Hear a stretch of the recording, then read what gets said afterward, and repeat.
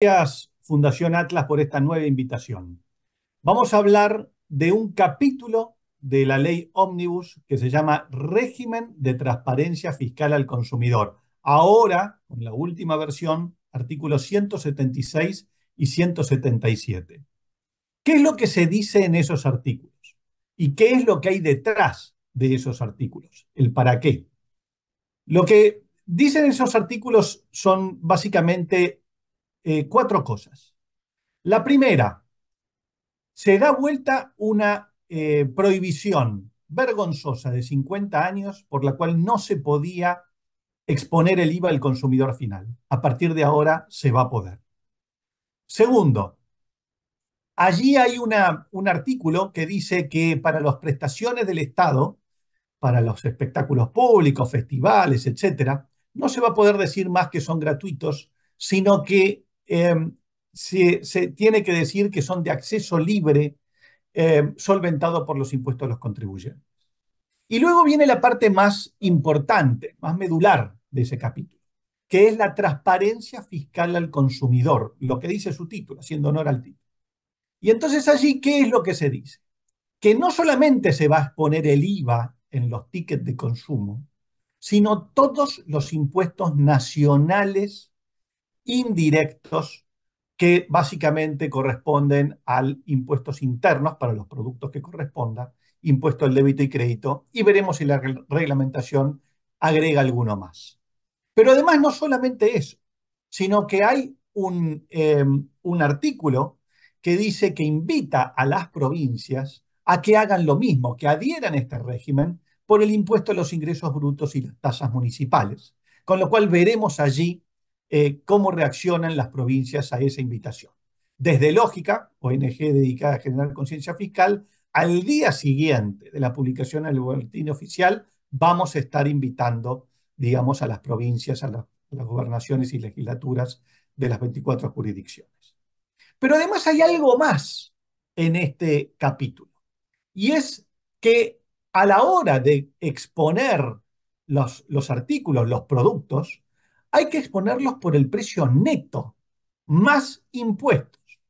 Con lo cual esto es parecido a lo de Estados Unidos, donde uno va y compra un producto y le dicen que vale 100 dólares y cuando llega a la caja vale 105, 106. Y, y uno toma conciencia de que está pagando esos 5 o 6 dólares, es como que le duele, entre comillas, en el bolsillo.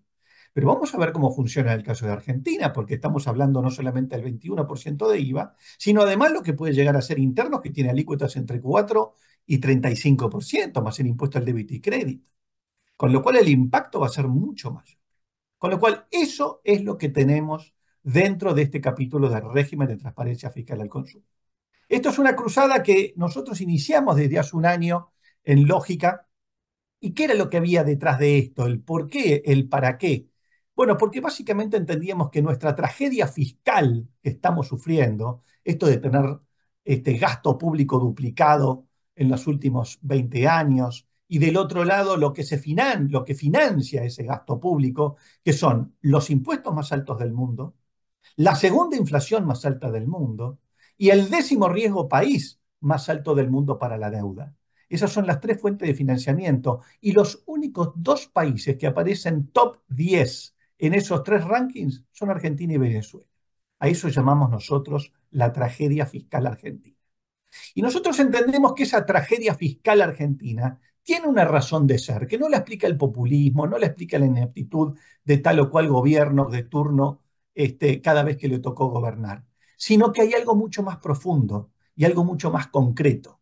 Y eso es la falta de cultura fiscal de toda nuestra sociedad, en todos los niveles, en todos los sectores. Empezando por la población, por la gente, por, por digamos, por la ciudadanía.